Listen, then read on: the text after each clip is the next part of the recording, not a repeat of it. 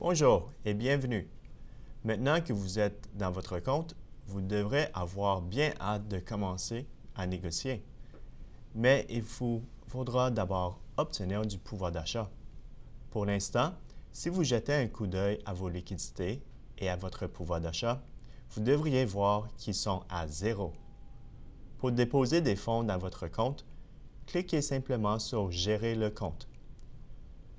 Dans la section Nouvelle opération monétaire, sélectionnez Dépôt, puis saisissez un montant de votre choix. Quand vous avez terminé, cliquez sur Go.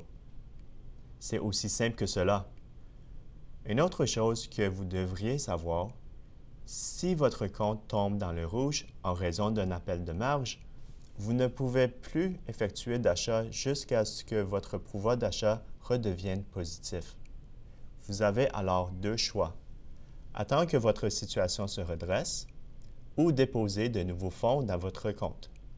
Comme il s'agit d'une simulation, vous pouvez déposer des fonds et continuer à vous exercer à la négociation.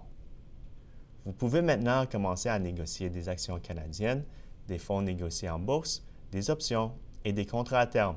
Bonne chance!